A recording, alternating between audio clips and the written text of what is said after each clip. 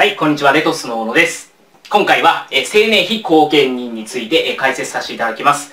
青年非後見人がどんな人かというと、イメージとしては、え重い認知症の方ですね。重い認知症の方。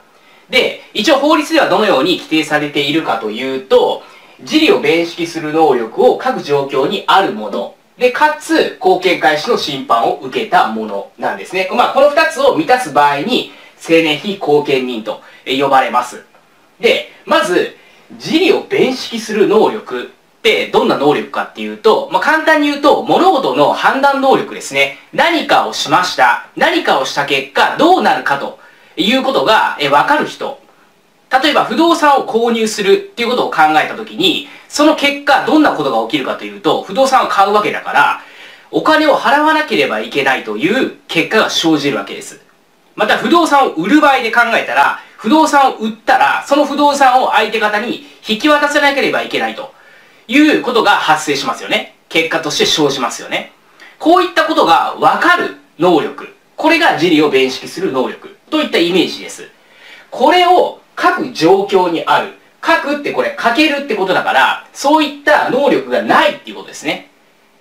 物事の判断能力、何かをした結果、どんなことが生じるのか、その結果がわからない。その結果を認識する能力がない状況にあるもの。状況っていうのは常にそのような状況だということです。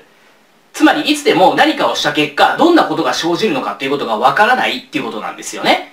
まあ、だから一番イメージしやすい事例で言ったら、重い認知症の方です。重い認知症の方っていうのは、何かをした結果、どんなことが生じるのかってやっぱわからないんですよね。なので、まあ、重い認知症の方ってイメージするとわかりやすいです。で、かつ、家庭裁判所の後見開始の審判を受けた者、これが青年非後見人なんですね。つまり、自利弁識能力が常にない人というだけで青年非後見人になるのではなくて、後見開始の審判、この審判は家庭裁判所が行うんですけども、この審判を受けて、初めて青年非後見人になります。だから、まあ、この二つを満たす人ですね。この二つを満たす人が青年非後見人なんだということをまず頭に入れておきましょう。で、この後見開始の審判って、まあ、どのような審判かというと、まあ、イメージとしてはですね、この青年非後見人に今からなりますよと。あなたは今から青年非後見人ですよっていうふうに家庭裁判所が、まあ、決めた人っていうイメージですね。そういった審判を下す、これも判断を下すってことですので、家庭裁判所が、えーあなたはこれから、えー、青年非後見人になりますよというふうに判断を下したものというイメージです。だから、この二つを満たして初めて青年非後見人になるということです。で、この後見開始の審判っていうのは、ある人が請求することによって家庭裁判所が、まあ、判断するんですね。で、誰が請求することができるかというと、本人ですね。本人が自分自身で、えー、後見開始の審判くださいって請求することができます。まあ、これね、あの、重い認知症の方なので、まあ、それできるかどうかは別ですよ。できるかどうかは別ですけども、一応本人もできると。あと、その配偶者ですね。あと、えー、四親等内の親族。その他、まあ、検察官とか、まあ、そういう人もできるんですけども、まあ、このあたりを覚えておくといいです。で、四親等内の親族。この四親等って、えー、どの範囲の親族を言うのかなんですけれども、自分を中心に考えたときに、上に1個行くと1です。プラス1。下に行ってもプラス1なんですね。つまり上下に、えー、1個ずつ動くことによってプラス1加算されるんですよ。なんで、例えば私を中心に考えたときに、親は、お父さんとかお母さんは1個上に行くわけですよね。だから、1神道ですね。で、じゃあ、えー、おじいさんおばあさんどうなるかっていうと、私から見ると、えー、一つ上行って親、お父さんお母さん、そのお父さんお母さんが、えー、おじいさんおばあさんですよね。だから二神道です。で、私の親の兄弟っていうのは、私からお父さんお母さん行っ、えー、おじいさんおばあさん行って、さらにその子供ですよね。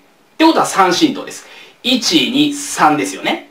まあ、親の兄弟ってことですね。親の兄弟。これ横には行きませんよ。横には行かずに、一回上に上がって下に行くと。だから、1、2、3ですね。で、いとこっていうのは、私の親の兄弟姉妹の子供なので、ここ4神道ですよね。私から見て、えー、親が1、えー、おじいさんおばあさんが2、で、その子供が、まあ、おじさんおばさんですよね。が3、で、その子供で4っていうふうに、1、2、3、4っていうふうに言ってるわけですね。だからまあ、四親等内の親族の具体例としては、いとこがあります。で、青年非後見人が行った法律行為、例えば物を買うだったりとか、まあそういったことですね。それっていうのは原則取り消し可能です。重い認知症の方なので、物を買ったりしたらお金払わないといけないってことがわからないわけですよね。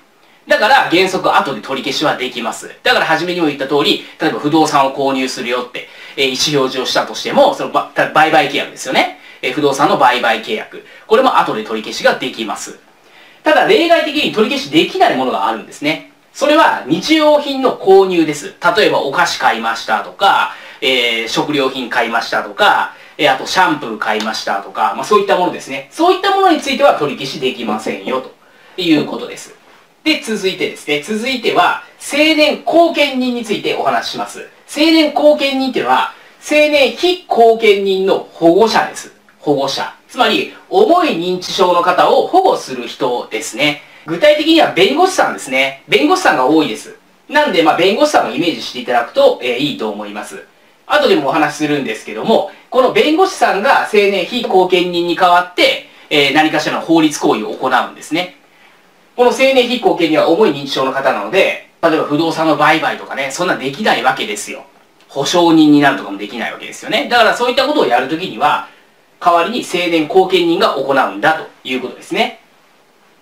で、この青年後見人が持つ権利ってどんなものがあるかっていうと、例えば取り消し権です。取り消し権。今言ったように、この原則取り消し可能とこう言いましたよね。例えば不動産買いましたと。青年非後見人が不動産を買うね、売買契約を締結しちゃったと。そういった時に、本人自身ももちろん取り消しすることはできるんですけども、青年後見人も取り消しすることは可能です。あと、追認することも可能です。追認権ですね。例えば、青年非後見人が不動産買いましたと。後で取り消しできるけども、いや、これ買った方がいいよという場合は、この弁護士さん、青年後見人が追認をして、売買契約の有効を確定させるということですね。で、もう一つが代理権ですね。代理権っていうのは、青年非後見人の代理人として、青年非後見人の代わりに売買契約を、えー、行うんだということですね。これ実はですね、青年後見人っていうのは法定代理人と呼ばれる人なんですね。まあ、そこから考えて法定代理人、まあ、法律に基づいて定められた代理人なんですね。この後見開始の審判を青年非後見人が受けると、それに合わせて青年後見人も選任されるんですね。で、青年後見人となったものは、法律でこの青年非後見人の代理人っていう風になってるんですね。つまりもう法律でそのように定められている。だから法定代理人なんですね。法律で青年非後見人の代理人だと決められているので、青年後見人は代理権を持つんだということですね。ただ、ここ一つ注意していただきたいことがあって、何でもかんでもこれ代理権行使できるかというと、実は、まあそうじゃないんですね。一つ注意していただきたいのはここです。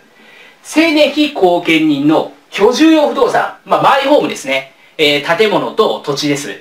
この青年非後見人が住んでいる建物と土地、これを売却する場合は、家庭裁判所の許可が必要です。これ代理人だからといって、青年非後見人の居住用不動産、マイホームをね、え勝手に売っちゃったってなってくると、この青年非後見人住むとこなくなっちゃうと。えらいことになっちゃいますよね。だから、これは事前に家庭裁判所の許可を受けてくださいねっていう風になっております。で、最後一つ注意点です。青年後見人っていうのは同意見がないんですよ。同意見がない。つまり、青年非後見人が例えばある不動産を買いたいですと言った時に、青年後見人が、あ、いいですよって同意したとしても、この同意っていうのは何の効力もないんですね。何の効力もないということは、同意した上で青年非後見人が売買契約をしたとしても、これは後で取り消しができるんですね。同意した意味はな、全く何もないわけだから、単にもう単独で青年非後見人が不動産を購入する契約をしたことと同じことになって、これは取り消しができますよ。じゃあなんで青年後見人に同意見がないのかっていうところなんですけれども、青年非後見人っていうのは初めにも言った通り、重い認知症の方なんですよね。重い認知症の方、イメージしてもらいたいんですけども、例えば、えー、重い認知症の方が、この不動産買いたいですって言って、まあ、弁護士さん、青年後見人が、ああ、いいですよって同意与えましたと言った時に、青年非後見人が、この認知症の方が、青年後見人が同意した通り、やってくれるかとつまり、この不動産買いたいって言って、いいですよって言った時に、この不動産を買う契約をするかっていうと、誤って別の不動産、めちゃめちゃ高い不動産を購入する、えー、売買契約を締結したりとかする可能性あるんですよ。つまり、同意を与えたとしても、青年非後見人が同意した通り物事をやるかって言ったら、やってくれない可能性が非常に高いわけですよ。だからもう法律で事前にもうこの同意権は与えない方がいいでしょということで同意権はなしにしているということです。これは青年後見人の特徴となってますので、ちゃんと頭に入れておきましょう。あとここもですね、居住用不動産売却する場合、え、家庭裁判所の許可必要ですね。え、これもすごく特徴になってきます。なので、ま、この2つは絶対に頭に入れておきましょう。まあ、ここに書いてある内容も全て重要なんで、ぜひ頭に入れていただければと思います。そして弊社レトスでは、え個別指導を行っております。短期間で無駄なく、効率的に勉強したい方は、ぜひ個別指導をご検討ください。個別指導については、左上の動画に概要を貼っときますので、概要の動画貼っときますので、そちらからご確認ください。またまだチャンネル登録していないっていう方は、ぜひ、こちらからチャンネル登録していただければと思います。今日も最後まで動画をご覧いただきましてありがとうございました。レトスの小野でした。